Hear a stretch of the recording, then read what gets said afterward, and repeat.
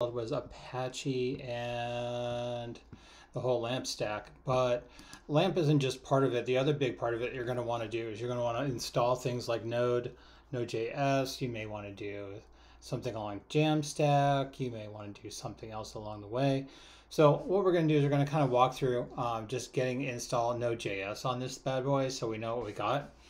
So what we want to do again, just like anything else, we want to just want to su to root and put in the password because you have to be root to install all this stuff, right? So, you know, again, the other thing I keep on trying to get people to do apt-get update is just make sure everything is always updated all the time, just to make sure your package is updated and refreshed.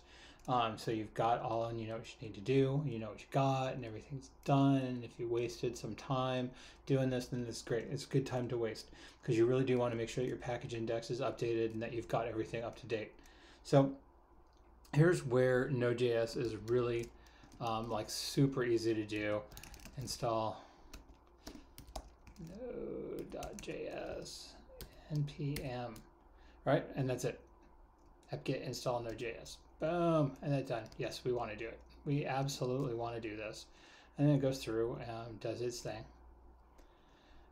And it's actually, you know, it does a lot of things in the background. So this is like really, really good. And we're getting all the libraries, we're getting all the other things that go along with it. The cool part too is you also get a little bit of support for, for GitHub, which is good because, you know, GitHub is, is probably a good place to store code um, if you don't have to worry about, about anything on that. Um, and uh, we just kind of go from there, right? So we're almost done, right, on this one. And once we have that done, we're just going to verify the install and then we should see what the output is for the version um, that we've got. So we want to go node minus v, just to check and see what version we've got.